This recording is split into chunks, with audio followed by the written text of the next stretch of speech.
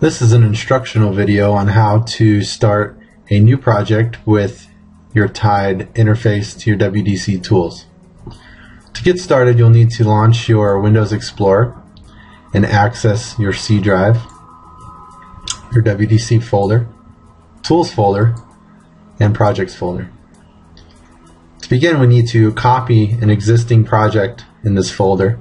Do that by right-clicking, selecting Copy, and pasting it back into the projects folder. Once that's complete, you can rename this to the name of your new project.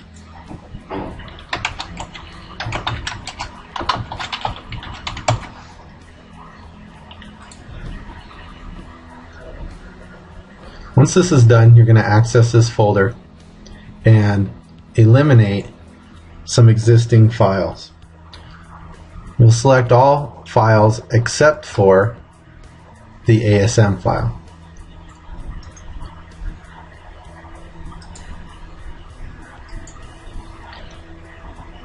Then you will rename this ASM file with your new project name.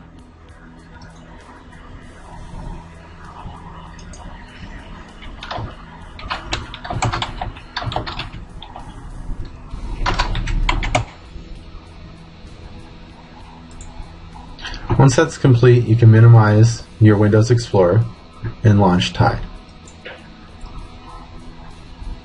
Then Tide, you'll enter your file drop down, select New Project, and name your new project.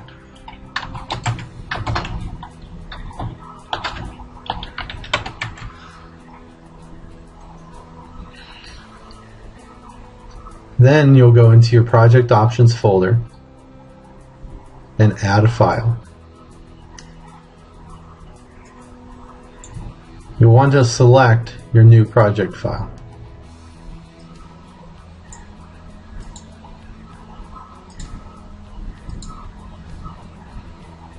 You'll need to make sure that you have it this set to ASM.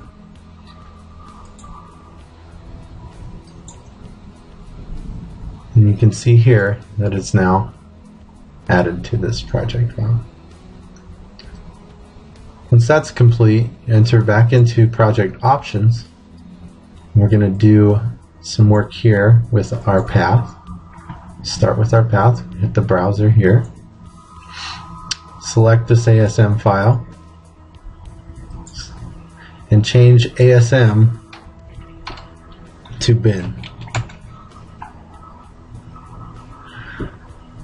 Then we will go into our target option, select simulator, and also make some adjustments to our linker.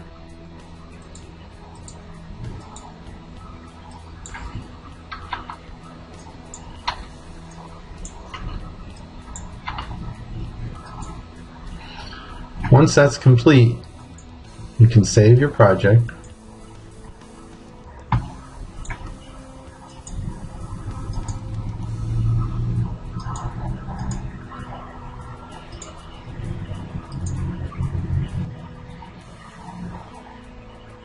You can assemble and link your project to verify that you have no issues and then launch your debugger slash simulator.